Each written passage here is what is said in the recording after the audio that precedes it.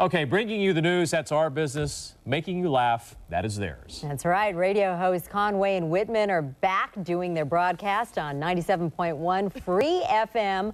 Live from our Studio City Broadcast Center tonight. We want to drop in on them right now. Hello, gentlemen. Hello, Good thank evening. you very Got a special guest with you out there. A few of them, I see. Yeah, we got uh, Pat Harvey from KCAL. Yeah, the one lady out here, Sylvia. Yay. and uh, my father who wants to take the next five minutes to give you a horse racing tip and handicap races. Is that right? Shut up. We'll take it. That's an order. All right. on. Uh, Tim Conway is, uh, is with us as well. Well, it is a pleasure to have all of you out there. Welcome to the 9 o'clock show. You know, we do a lot of politics, a lot of political stories on this Mm-hmm. show.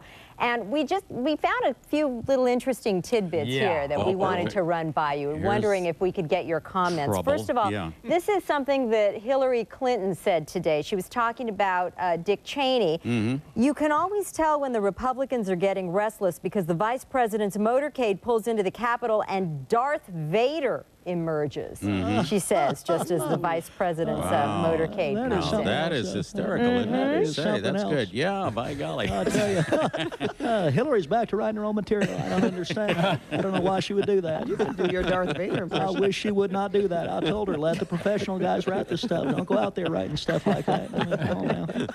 So, So did, did she mean did she mean that that uh, Dick Cheney's son is Darth Va- is uh, Luke you- Skywalker? Yeah. Oh, Makes sense to me. oh. Oops, I'm Maybe, not maybe in that's the case. Oh, no, no, no, no. All right, let's let's pick on one of the Republican candidates, Rudy Giuliani. He's Okay. over in Great Britain. Uh, he he informs them that uh, Margaret Thatcher that you know, I'm probably one of the top five most famous Americans Yeah, in the world. four or five most famous Americans in the world. And modest. Yes. Very humble. Yeah. Not Rudy. Yeah, He I don't isn't, think he is. No, because I know who they are. OJ. And you- You'd be surprised. Uh, OJ is close. No, he's about six or seven.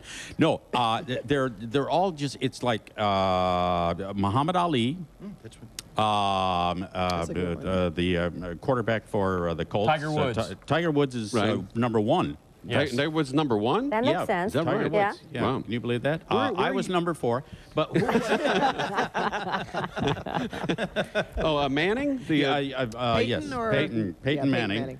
Uh, but you've got to be up on that list. I mean, you, you have a lot of people still know who you are, and you know- Name three. well, like myself, Pat Harvey, and, got it uh, right and here, Brian. Gus. Wilson. There I was right. Well, I got lucky. No, he is but on that we set. still go to restaurants, and uh, people constantly come up to you and say, uh, Who are "Harvey, you?" can I have your autograph?"